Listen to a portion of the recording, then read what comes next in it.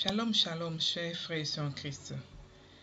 Bienvenue à la lecture de la Rhapsodie du dimanche 1er août 2021. Rhapsodie écrite par le pasteur Chris Oyakilome et la lecture vous est offerte par les vérités de l'Évangile. Le thème d'aujourd'hui est Sa force au lieu de votre faiblesse. Et le verset de 2 Corinthiens 12, verset 9, qui se lit comme suite. Et il m'a dit, Ma grâce te suffit, car ma puissance s'accomplit dans la faiblesse. Fin du verset. Le pasteur Christ dit, à mesure que vous servez le Seigneur, vous devez savoir qu'il ne permet jamais que vous soyez épuisé ni crevé. Il renouvelle votre force.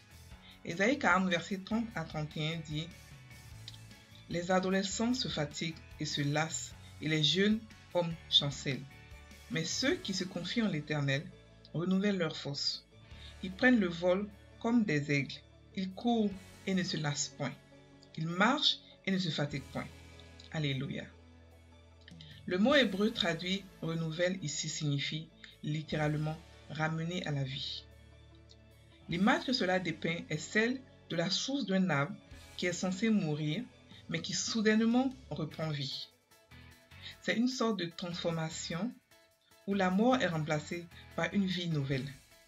La faiblesse est remplacée par la force. L'un de ces synonymes est substitué ou échangé. Ainsi, votre faiblesse est échangée contre sa force. Pas étonnant que Paul dit dans Colossiens 1, verset 29, C'est à quoi je travaille en combattant avec sa force qui agit puissamment en moi. Alors il s'agit de sa force divine à l'œuvre en nous. Ainsi, dans 2 Corinthiens 3, versets 5 à 6, il a dit que notre compétence, le mot grec ikanot, la capacité avec laquelle nous fonctionnons en tant que ministres de l'Évangile, est divine et non humaine. Ce n'est pas dire que nous soyons pas nous-mêmes capables de concevoir quelque chose comme venant de nous-mêmes. Notre capacité, au contraire, vient de Dieu. Il nous a aussi rendus capables d'être ministres d'une nouvelle alliance et non de la lettre, mais de l'esprit. Car la lettre tue, mais l'esprit vivifie. Voici le plan de Dieu. Il donne la puissance et la force aux faibles. Ésaïe 40, verset 29. Avec lui, vous ne manquez jamais de force ni d'inspiration. Cela nous rappelle les paroles de l'apôtre Paul dans 2 Corinthiens 4, verset 16. C'est pourquoi nous ne perdons pas courage. Et lors même que notre homme extérieur se détruit, notre homme intérieur se, renouvelle de jour en jour. En tant qu'ouvrier avec le Seigneur, travaillant pour lui et avec lui, il a un renouvellement de force.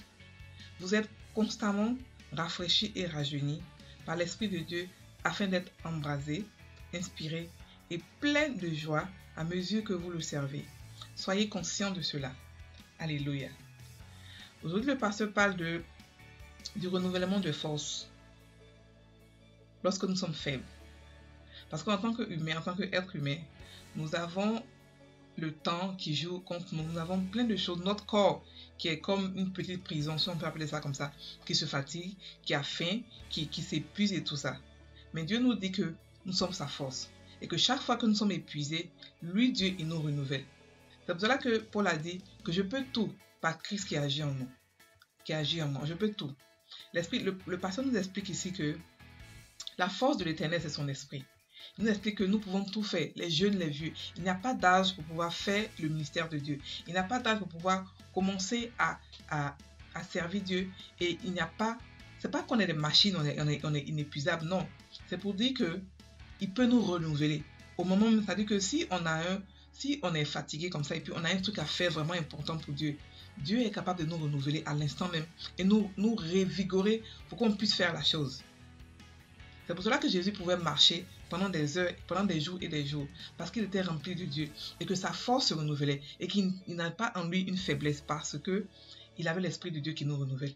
Et le pasteur explique aussi que c'est pour cela que Paul disait que c'est pour cela que Paul disait que euh, même quand notre homme intérieur se, fatigue, se détruit, notre homme, même comme notre homme extérieur plutôt se détruit, notre homme intérieur se renouvelle tous les jours. Parce que la parole de Dieu, elle est nouvelle tous les jours. Tous les jours, une nouvelle, une nouvelle révélation. Tous les jours, une, eau fraîche. Donc, avec cette eau fraîche, avec, cette révélation que nous avons journalièrement, nous ne pouvons que être renouvelés tous les jours. Et notre faiblesse est remplacée par la force. Notre faiblesse est remplacée par la puissance de Dieu qui peut nous faire relever dans n'importe quelle situation, qui peut faire que nous pouvons être prêts à affronter la journée, nous pouvons être prêts à affronter les difficultés parce que sa, force est notre force aussi à nous. Nous ne pouvons pas être faibles. C'est impossible pour nous d'être faibles parce que nous avons la force de Dieu qui nous, qui nous assiste partout dans tout ce que nous sommes, tout ce que nous faisons, pardon. Donc nous ne fonctionnons pas avec notre, nos sens, nous ne fonctionnons pas avec notre, notre nature humaine. Nous fonctionnons avec la puissance de Dieu. Nous fonctionnons avec la, avec la nature de Dieu. Nous fonctionnons de manière, nous fonctionnons de manière divine. Divine, pardon. Voilà, notre puissance en nous est divine. Elle ne vient pas de nous, mais elle vient de Dieu. Elle vient de la puissance de Dieu. C'est pour, cela que nous pouvons tout faire par Christ qui habite en nous. Donc sa force divine agit et à l'œuvre en nous. C'est ce que le pasteur nous dire aujourd'hui. Qu'il n'y a pas de quoi se décourager, il n'y a pas de quoi dire je suis faible aujourd'hui, je suis fatigué. Non. Ce que tu as à faire, tu le fais parce que la force de Dieu est à toi. Parce que la puissance de Dieu travaille en toi et peut te faire faire toutes choses, quelle que soit la fatigue, quelle que soit la faim, quelles que soient les situations. Tu peux tout faire par Christ qui habite en toi. Nous allons maintenant faire la confession. Répétez après moi. Béni soit Dieu. Je suis constamment rafraîchi et rajeuni par l'Esprit de Dieu.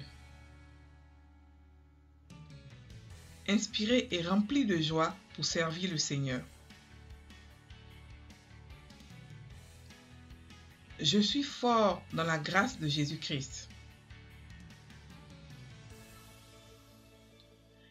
étant compétent et prêt pour toute bonne œuvre. Il est la force de ma vie. Alléluia. Frères et sœurs en Christ, passez une très bonne journée. Soyez bénis.